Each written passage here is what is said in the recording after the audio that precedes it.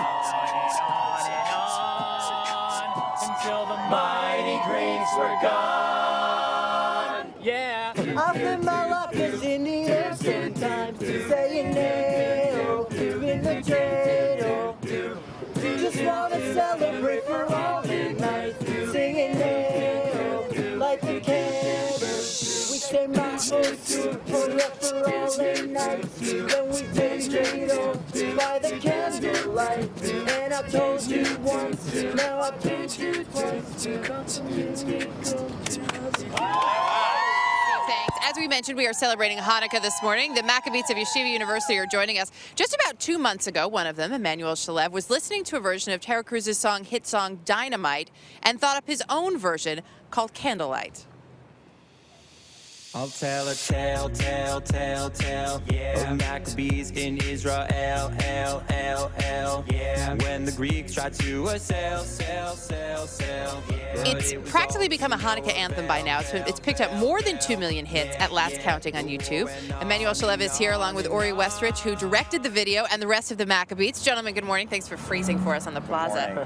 So you're walking around, you've got your earbuds on, and all of a sudden you're thinking, I flip my latkes in the air sometimes? You know what? It came it came out with I throw my hands up in the air sometimes. I was listening to uh, the Mike Tompkins version of the cover, and it turned into I flip my latkes in the air sometimes. And we went. It, it took a day, I think, to write the lyrics from that point, and it, it fell together. It was amazing. And it's clearly taken off. I was telling you guys anecdotally, I was around the city this weekend. I was in a store, and there were a bunch of kids singing it, like, wait, I don't forget, what's the chorus? And I wanted to scream, they're on the show Monday. What's the reaction been like?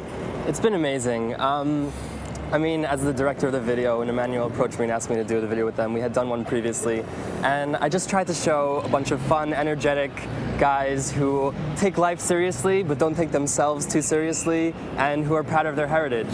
Yeah. And I think we got that across. Well, it's great too because there are clearly so many Christmas songs. There's a lot going on this time of year. There aren't that many Hanukkah songs, or not that have gone mainstream, obviously.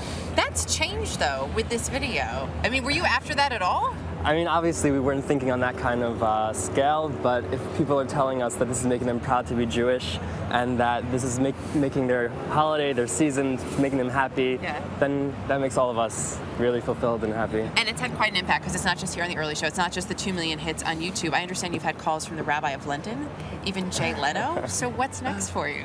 Honestly, I, we can't think about what's next. we're, we're totally just blown away with this. But uh, you know what? I think people should just enjoy the video, enjoy the song, and we're really happy with that. The video is really well done too. Thank I have to say. So you thought up this whole thing. How long did it take you guys to shoot? It only took a day to write it.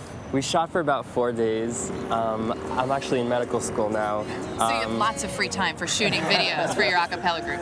we, we found some minutes and hours here and there, four days, about three weeks of editing. Um, and uh, I think I'm actually taking a leave of absence now. And uh, To be to be the manager for the road no, show? I'm not, or the, I'm not their manager. Just to, to see if this is something that I can pursue and maybe work with. Well, it's great. Well, clearly two million people are fans, and we are as well. Thank you all for coming in this Thanks morning, and us. happy Hanukkah. Thank you. Thank you. All right, the Maccabeats, Harry, into you. They're going to sing us off a little bit, I think. And the great menorah, parade days on burning.